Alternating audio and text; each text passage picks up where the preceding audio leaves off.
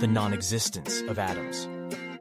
This theory, also known as the continuum theory, was proposed by Georg Ernst Stahl in the 18th century. Stahl believed that matter was continuous and could not be divided into atoms. He thought that chemical reactions were due to the interplay of different types of matter, rather than the rearrangement of atoms. However, this theory was discredited by the end of the 19th century through the work of chemists, such as John Dalton, who showed that atoms were the building blocks of matter.